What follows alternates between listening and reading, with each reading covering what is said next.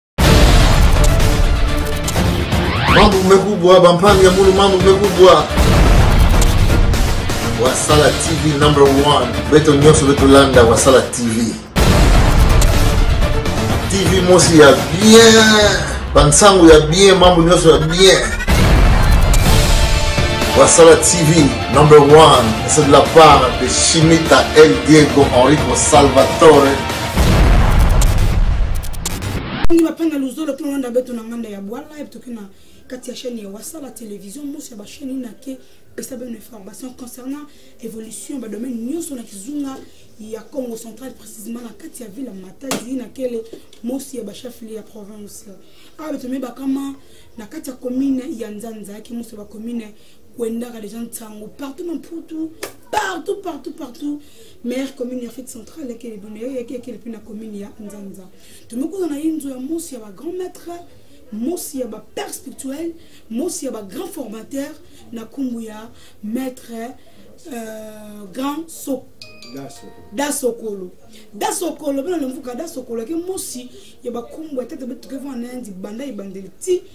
na suka ya émission ya yanke meke mpe koexplike bino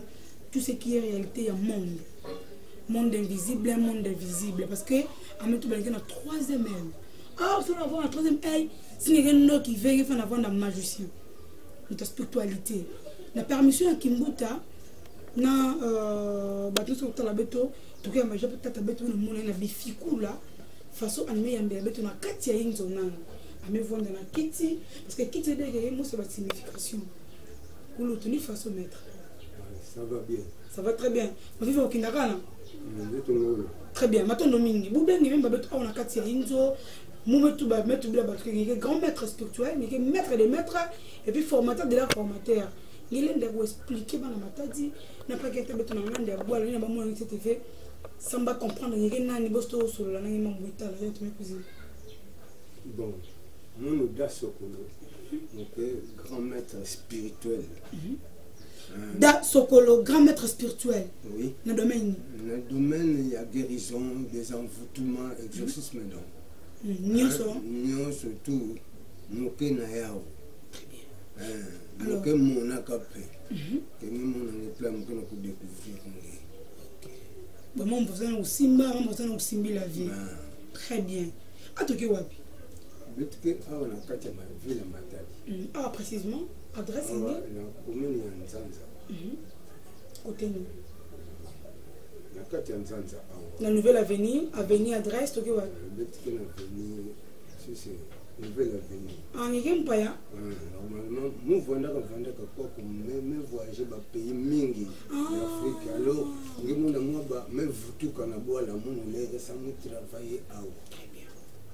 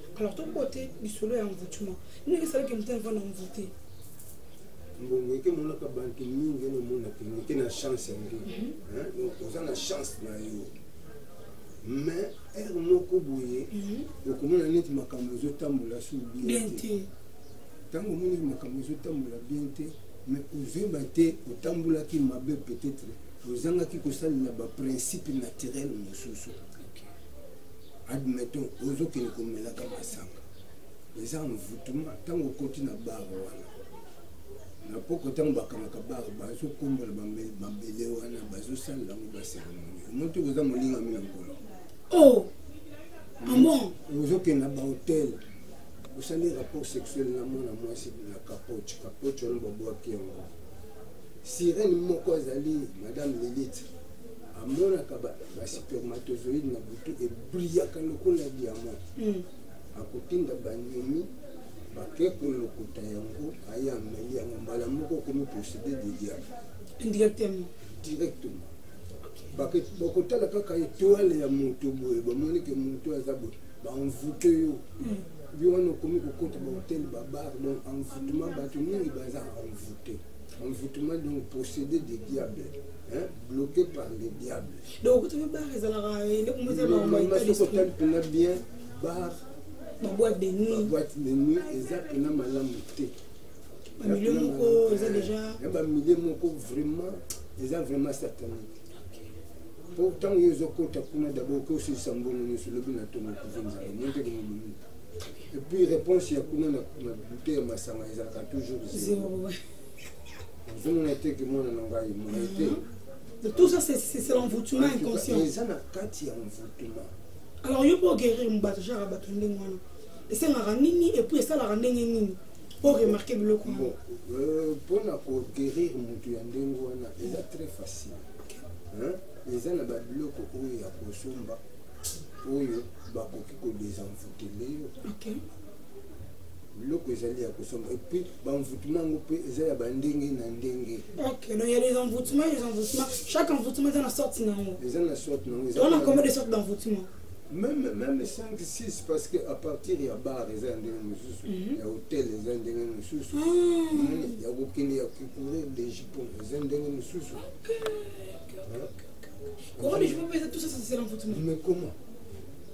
yo mpena okende kozala mpena courir de jipone papa neti nga na boti 12 bana na nga boye mm. mais nazotika te eloko ngo mm. natomboki na ngo moni teke eza motu parce que mwasi ya ndako na mbongo kotika na ndako na mbongo kosala badepense na bamakango mpona badepense koleka mingi na kota basi ya libanda ozonga te wana eza envoutment moye oyo économise mwa mbongo no moko bokosala oyo évolue na vie na yo bien na baimprévu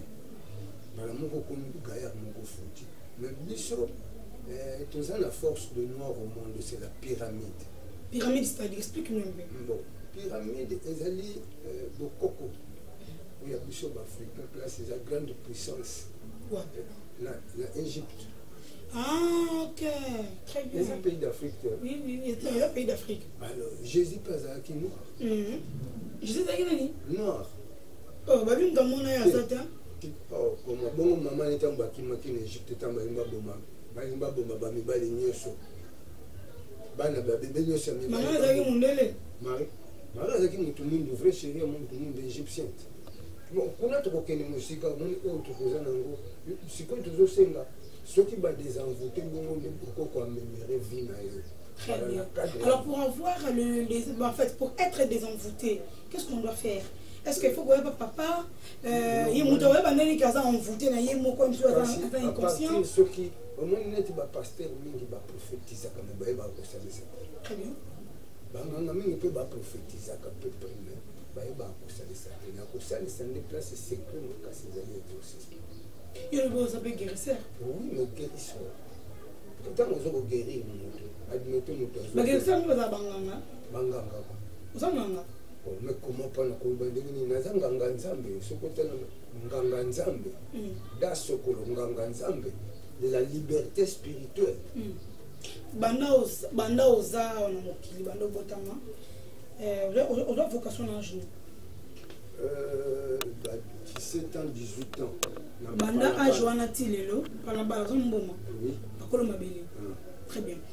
banda age wana ti lelo babiloko nini oyo moko desi osala epuis omona résultat nango ozala positif bon euh, d'abord un monga moko naza mpe yaka te mhm. euh, de deux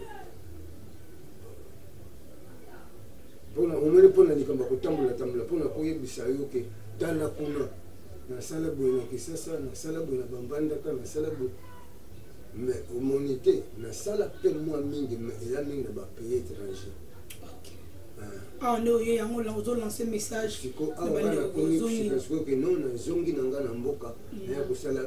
na bojeunesse na nga ntango nakokisaki ba 25 a ba 28 ans comme ça mm. nazalaka nano awa mpe nazalaka kaka nganga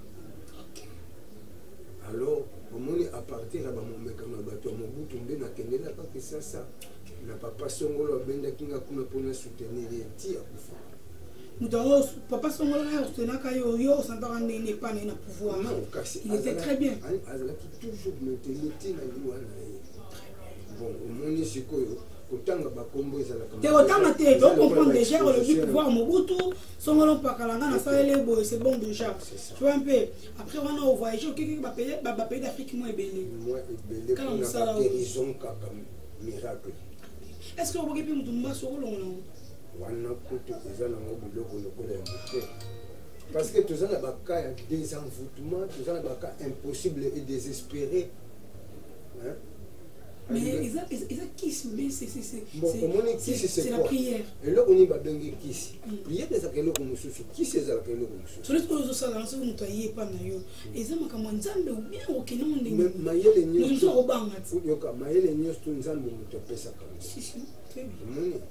alors ndenge nini soki oza na fièvre il faut kende osomba ibika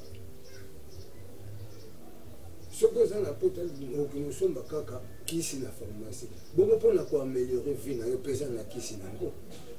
bankodia nyonso wana ya bokoko wana Mais c'est la sorcellerie. Non, non. Non. Non. Eliaka. Eliaka. Eliaka te. Bon, excusez, il y a deux sortes toujours. Phase manette.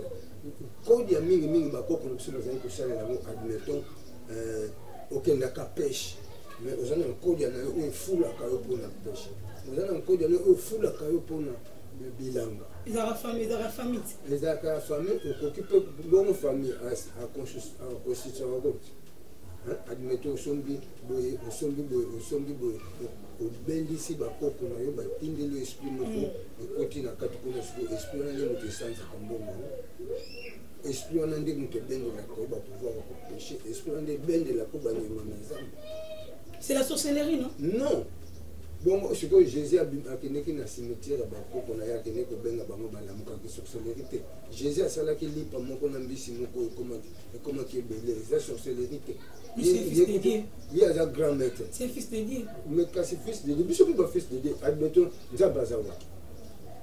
soki otali na ntango soki totali na acte na acte 17 mm. entre ba 24 25 okomona ke nzambe kutu alobi ke akozala su na kati ya bandako oyo basalela ya eglise te eservir ye te azongi azongi na oyo ye moko asalaki ezali nzoto ya moto donc nzambe ezali souffle de vie oyo ntango asali moto na mabele atindiki le souffle de vie ye wana l'image de dieu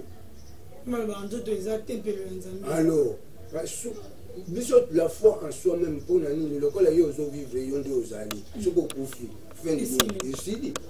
alo nakondima nandima yo okosala na nini mpo na mindima nga moko nazwa motivation nakoki kondima moto te nalobi ya hmm. sikoyo oza na pouvoir ya koguérir epe oza mpe na pouvoir ya kobebisa mpo ozanga bon kobebisa comment kobebisa mpe okoki kobeba biso epai na biso eh, par exemple kaka moto moko basiliki aye pa père ayebisi père non papa euh, maître adolo da ah. sokolo ah, da sokolo maître da sokolo boskize nga avec le temps naza koma papa parce que nzamba liboso maître da solo eh, ada sokolo soki lelo neti problème moko boye ezali moto moko asepeli na eloko moko toka moninga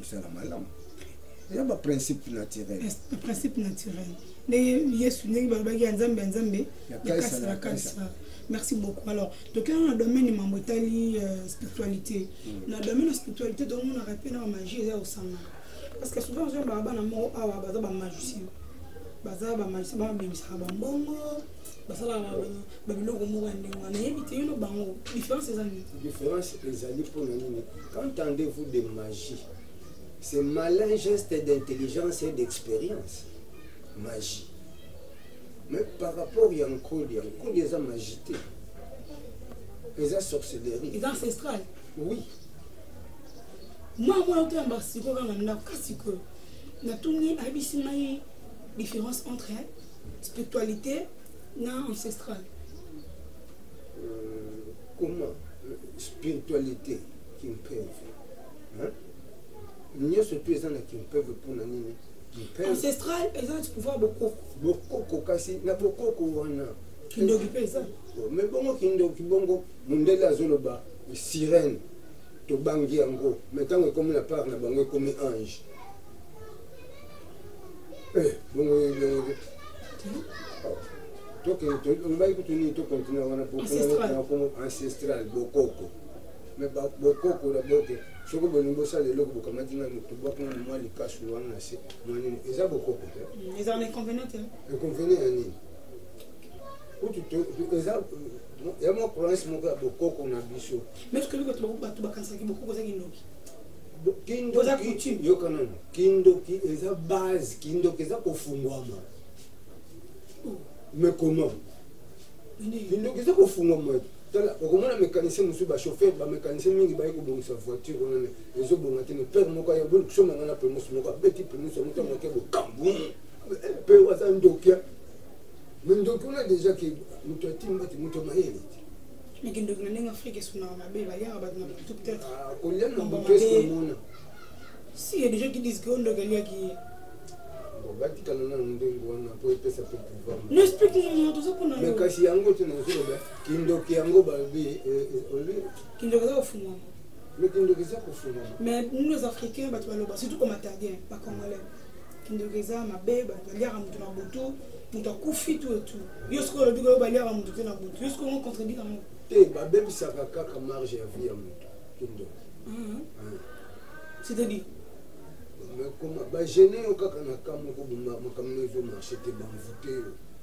okoma moto moko bono oso oza na mbongo na poche obengisaka bato na bar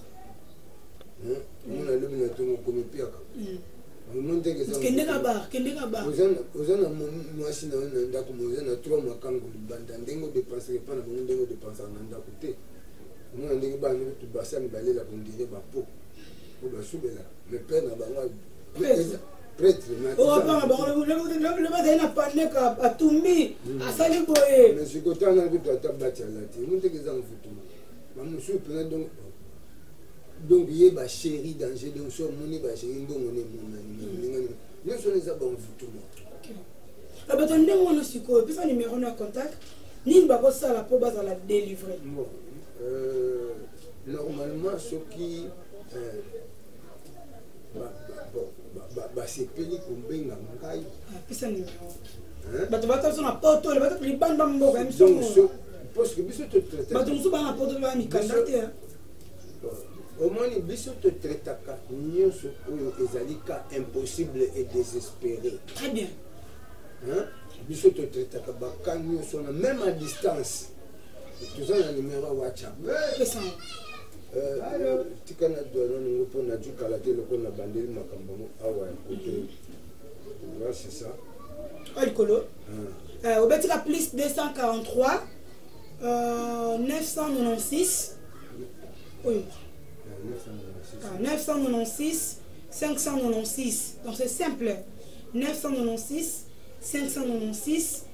622 obeti préfixe na biso ya rdc plus 243 obeti 996 596 622 wana okomeli euh, papa na biso na whatsapp toza na problème moko edérange yo mm. spirituellement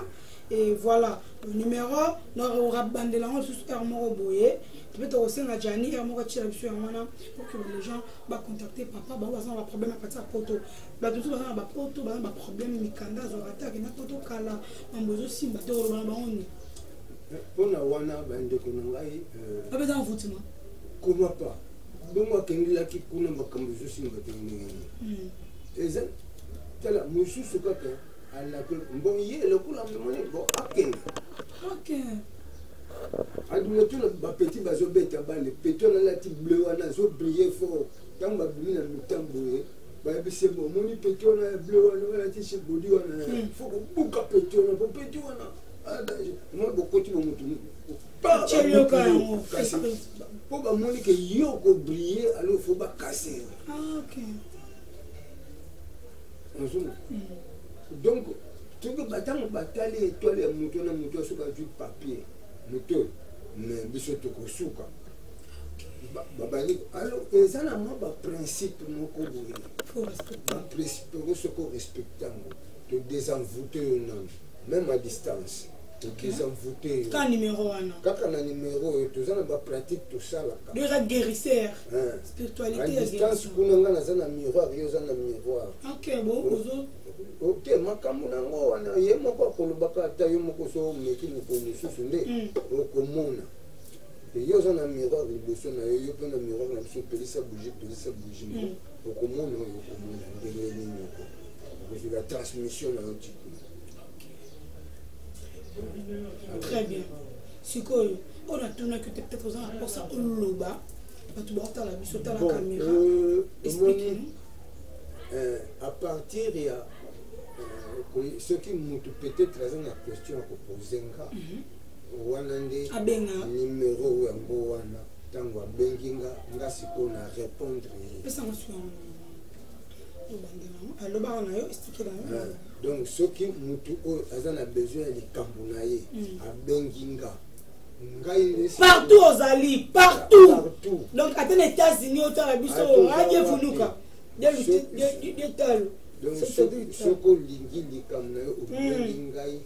nga sikoyo na korepondre yo osala nini yo moko okomona ah. mpe nakoyebisa kuna tya miroir ngai miroir topelisa bougi mais makambo akomona yango soki abangi yango pike crise non euh, omoni rien que mpo na contact ah. rien que mpo na contact bien mais bana wana bazolotaka basutani neti yo boye mm. bazobenga bango bamaître magicien omona ye na bar akei bimisa bambongo bapoche tapage bango baza ba, ba, ba magicien baza bana baza bana baza par rapport soki otali ngai nabotami nao na 1955 naboti na papa ya difiye etoagas bazali awa bamosusu babala na bakisasa mosusu aza na poto awa naza na bagrande fille mpo natindi banguna mama na bango babimi moke okomona te bayaya na yo kutu ozomona ata ye kutu aza mwana yo mpo oza mwana donc seke makambo oyo donc obanda ngo oyo na secret donc mama kala abandi opération pema makasi na 72 très bien très bien ti lelo oyo très bien merci tambola kala mingi te na wuti kozonga sikoyo ndenge balobi na biso na recours en authenticité makambo nyonso en authenticité nazongi sikoyo koto na mboka na nga kuna deja na mpozo todui deja place parce que ngai nazalaki baptise na ngunza mabwaka ngunza ngunza mabwaka na bomwana na ngai doza ngunza mpe nenge otala boye na bongunza omoni te nganga nzambe aza ngunza donc ngai nde dasokolo nganga nzambe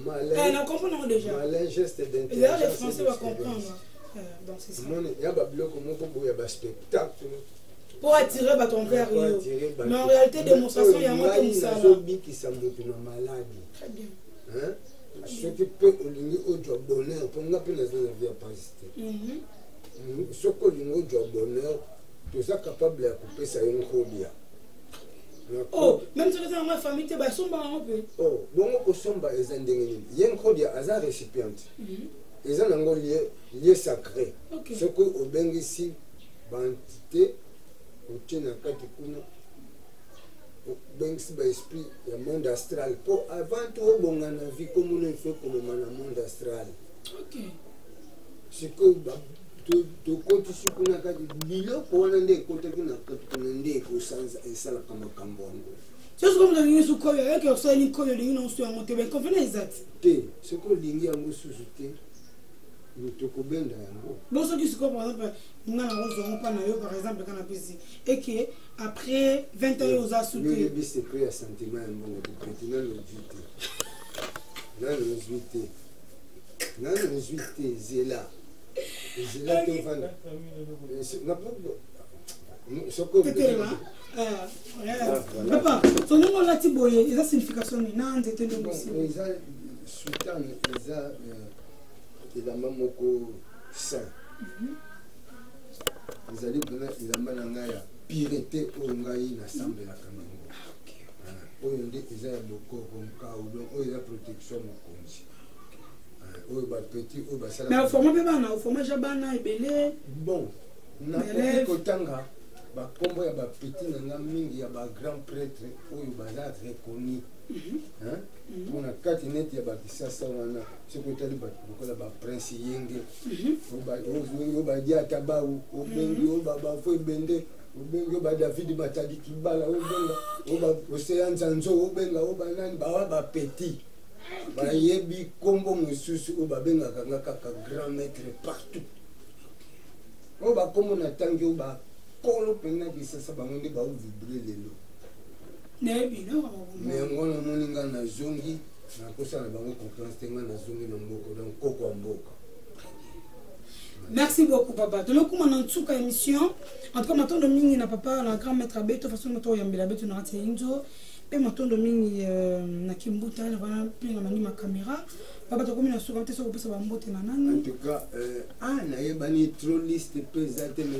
nasepeli mingi na bandeko na ngai nazongi na mboka mhm. euh, en tout cas naza na mingi ya koloba te oyo aza na besoin preuve aya amona merci beaucoup merci beaucoup ndenge azongi boye mokokoso epi numero na ye oza ya sika yango napesa bino yango Sono contacte Yomi Boklone na plus 243 996 596 et puis 622. Panza numéro ya papa na biso ya yayi. En tout cas merci beaucoup papa. Tokomi na suka pesi mbote ya bato nyonso parce que euh, aza na koyebana na bato nyonso mpe loba ndenge alobi yango aza na mposa na ye obengi numéro wana na matadi aza bongo na commune de nzanza référence nouvelle avenue numéro na ye yango wana obengi mpona na misala